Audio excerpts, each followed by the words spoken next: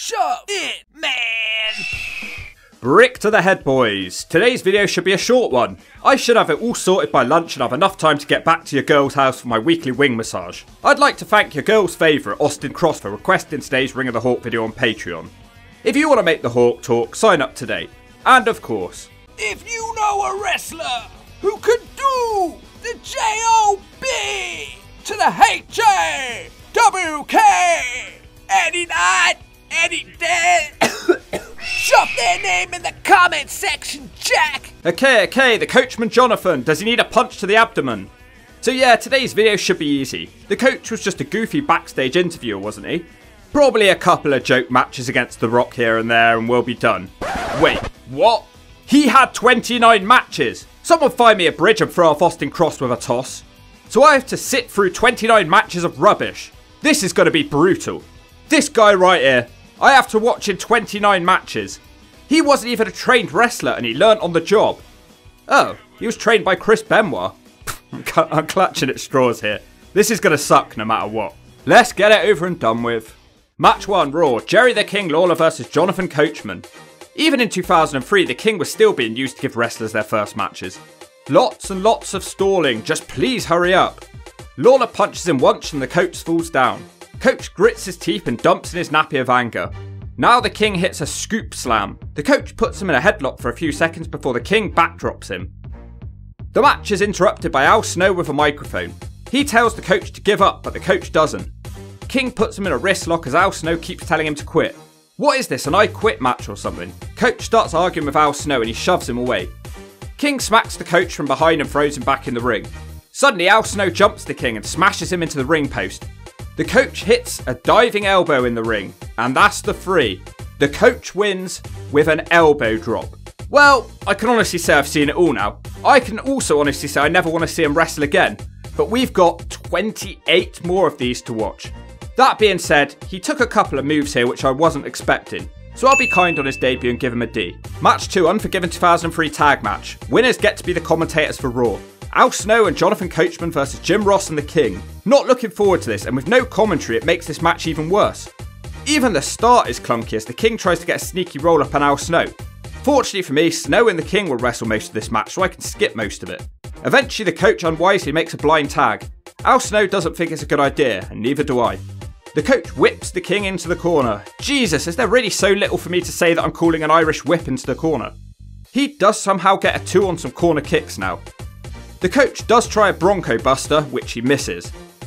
The king starts smacking him around the ring. He hits a scoop slam followed by the middle rope fist drop. Al Snow breaks up the pin. Now Jim Ross has the tag. He kicks Al Snow in the nutsack and chops him out of the ring. Jim Ross hits coach with a running clothesline from behind. Now some weak punts. JR mounts him and punches him, but the ref is distracted by King and Snow on the outside. Chris Jericho randomly rushes the ring and he drop kicks Jim Ross. And that's the three. What a horrible match. The best thing about the coach so far is his rap music. It has a really nice beat. Coach is undefeated so far, but it's still an ass. Match 3 Raw Country Whipping match for the Raw commentator's position. Jonathan Coachman versus Jim Ross. Not again. Ross with three whips, which makes the coach bail from the ring. Coach tries to get back into the ring, but he's whipped more. Coach is an idiot and he's distracted by the fans on the outside, so Jim Ross sneaks up from behind and hits him. They both make it to the ring, and Ross misses a shot, which enables the coach to rain down on him.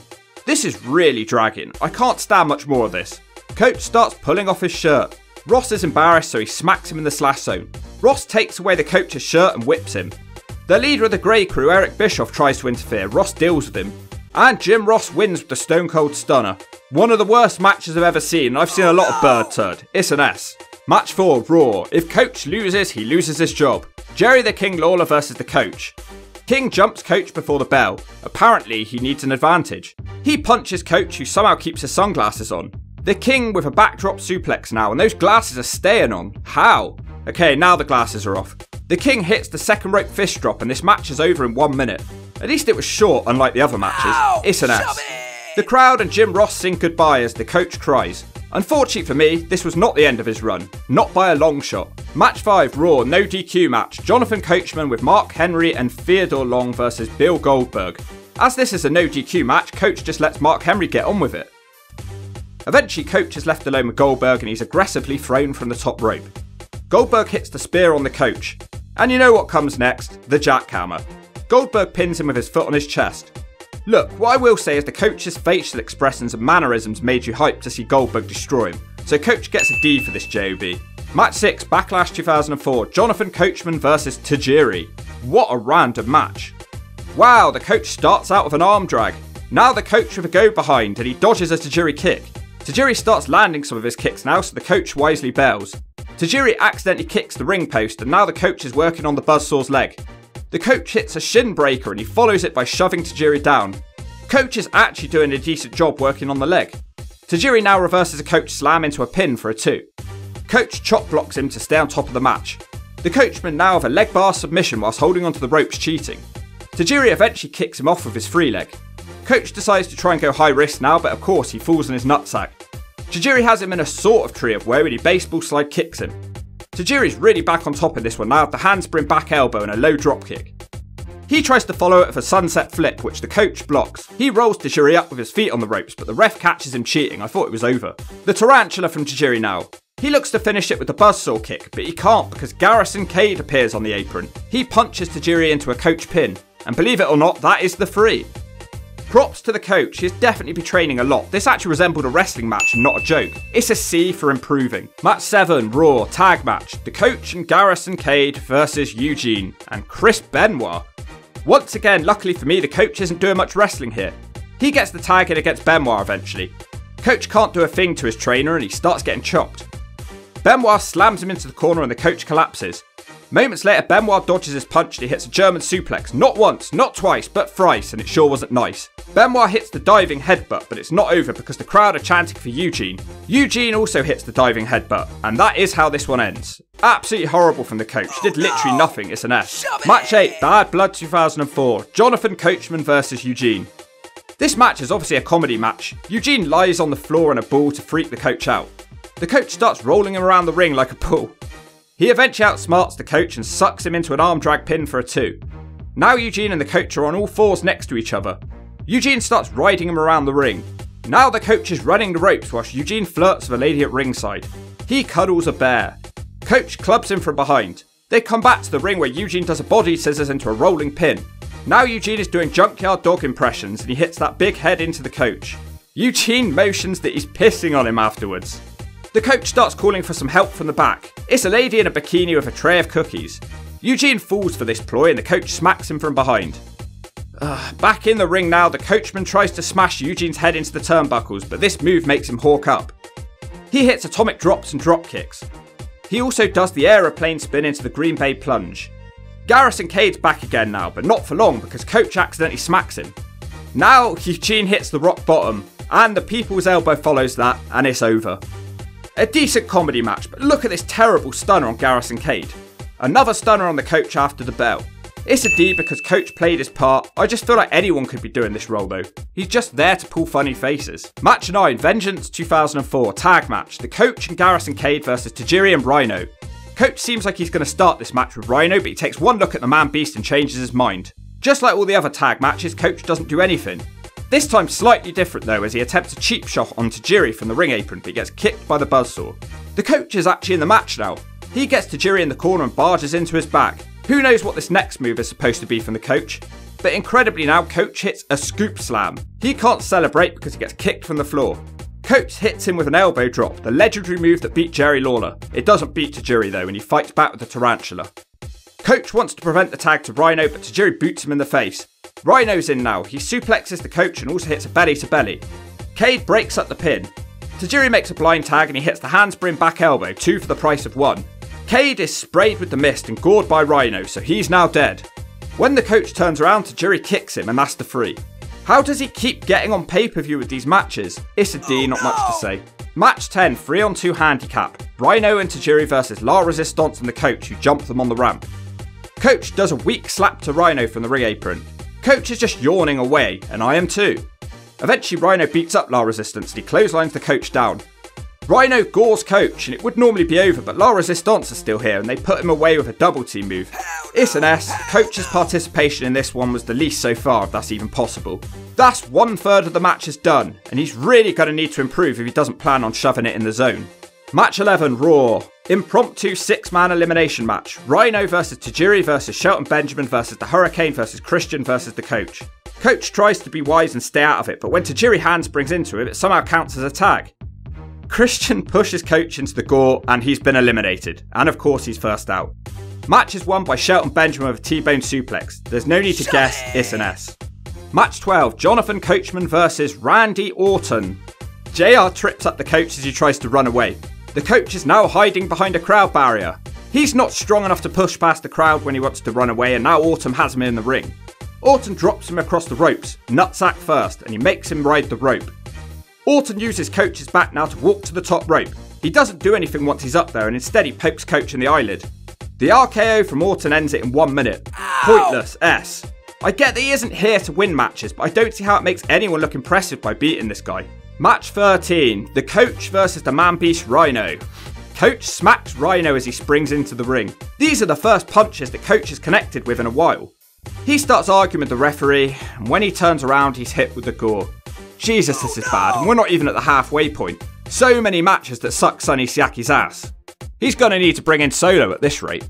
Match 14 Raw. Number one contenders battle royal. Why the hell is Coach in there? I generally wasn't sure I was watching the right match because I couldn't see the coaches in the match, but he is in there. He surprisingly isn't out first. He outlasts wrestlers such as Viscera, Tomko, and Rhino. Coach is eliminated by Benoit during the advert break because he's not important. It's pretty funny how he got eliminated though. He didn't want to get chopped anymore by Chris Benoit, so he dived away off the ring apron to eliminate himself. The match is won by both Benoit and Edge, who fall off the apron at the same time. It's a D for making me chuckle. Match 15, Royal Rumble 2005, the Royal Rumble match. Who thinks it's a good idea to keep giving Jonathan Coachman a chance at a title shot? Taz calls this out and says that he's a nerd and doesn't deserve to be in here. The coach hits Benoit from behind and tries to hide in the corner. Benoit grits what's left of his teeth with anger. Coach desperately clings to the rope as Benoit beats him. Now Jericho has joined Benoit in attacking him. Nothing's happening, the coach is crying in the corner. Annoyingly for me, the coach lasts for 13 whole minutes. It seems everyone's forgotten he's here. Batista remembers though and he hits Coach with the cab driver slam, the cab driver slam. Ric Flair eliminates the coach. I'm still shocked he lasted 13 minutes.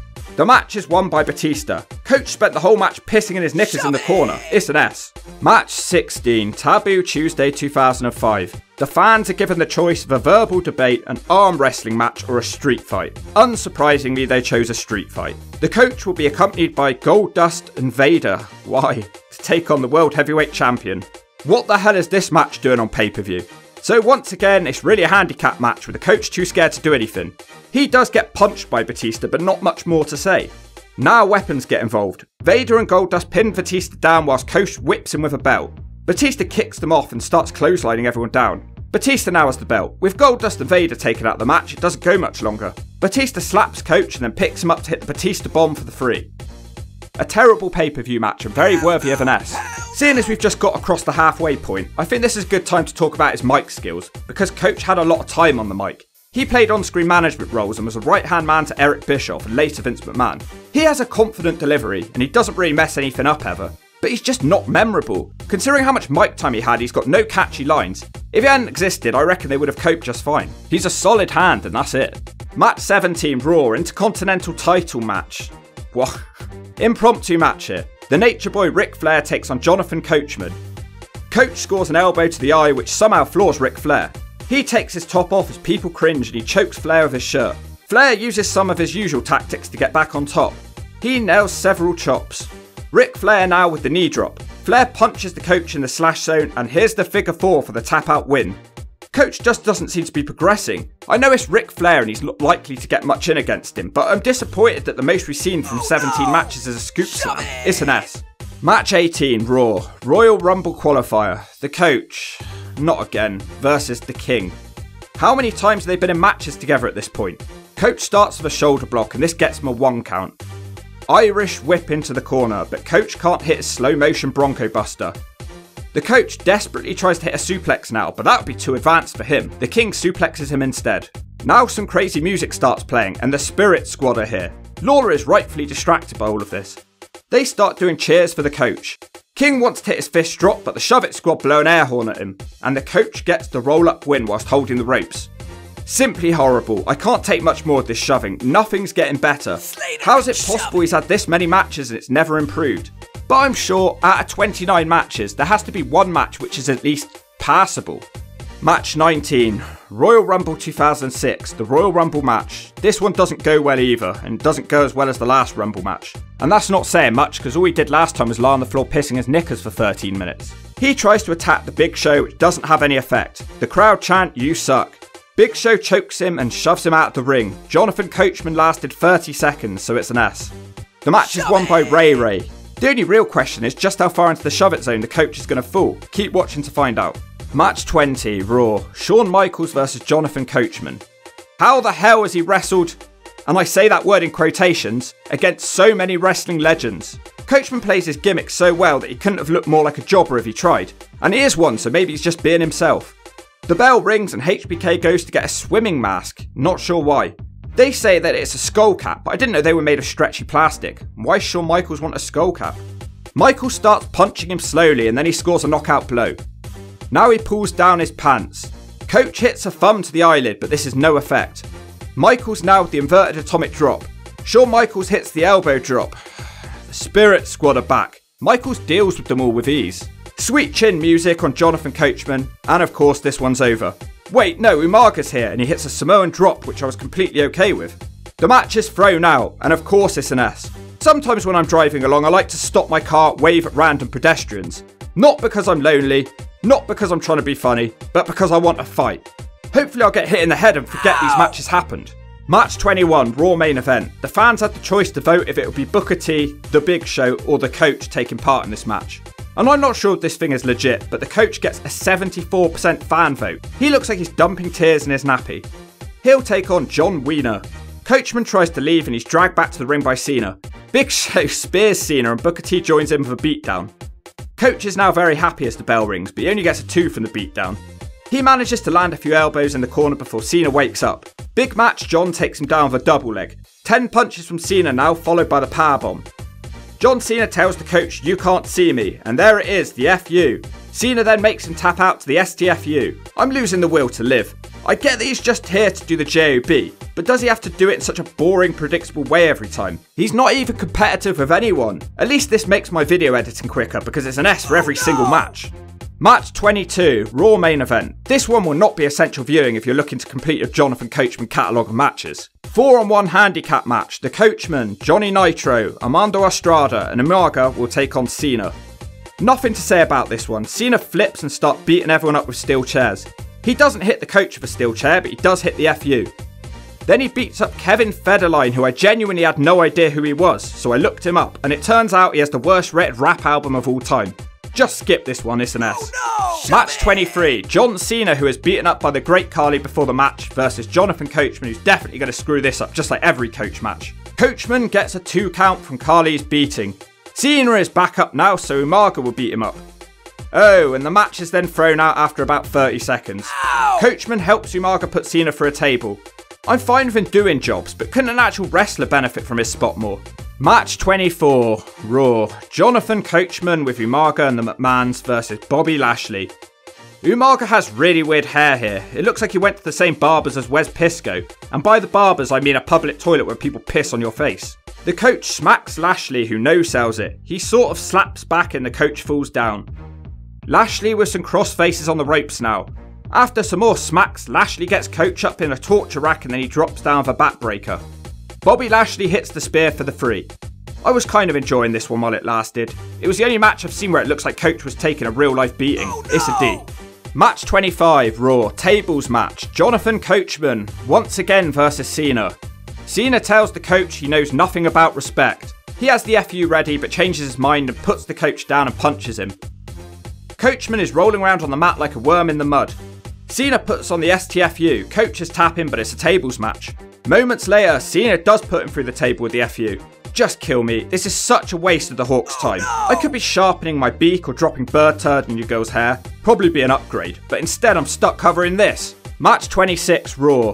Things somehow get even worse now if that's possible.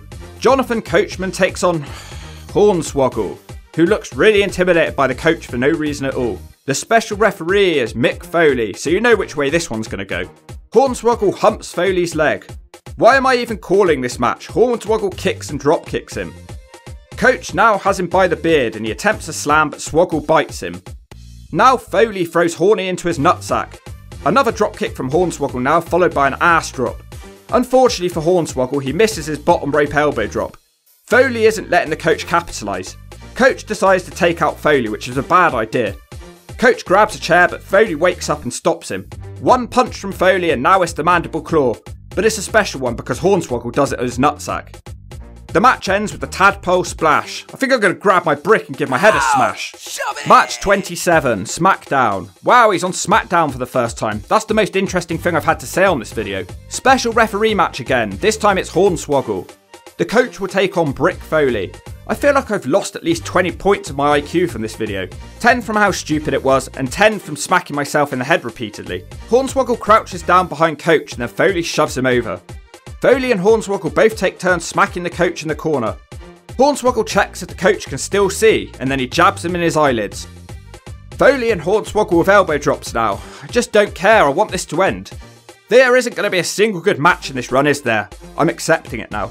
Foley with the mandible claw, followed by the tadpole splash from Hornswoggle, and that is most certainly the three. This is making me feel like getting diarrhea of the brain, so I can shit this match out of my memory. Four cod liver oil tablets, one Naito, and a bowl of Tropicana orange juice. Gone off, like the food in my cupboards. Because I have to waste my time watching 29 pointless matches instead of eating. So my chances of puking or crapping this match out of my memory are about nil. There's no need to squeal. Match 28 Raw, 2 on 1 handicap, no DQ match. Carlito, Caribbean Cool, and Jonathan Coachman will take on. Hornswoggle. I don't want to watch this. He has the APA with him. And when I say with him, I mean they just fight Carlito and the coach. JBL hits him with a neck breaker. Hornswoggle hits a sort of shining wizard. Now JBL, the clothesline from hell. They assist Hornswoggle with his tadpole splash, and that's the three.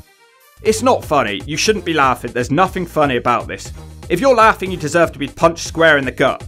Did anyone really care about this? Because I sure didn't give two turds. You'd have more fun dating a dog with diabetes, and I'm not talking about your sister. Match 29, final match. Thank God. This has been brutal. Two on one handicap match. The game Triple H versus William Regal and Coachman. How has he had so many matches with the stars? Don't care now, I've nearly done. Triple H looks like Raven. Coach has lost to Hornswoggle now, so why would he have a chance against Triple H?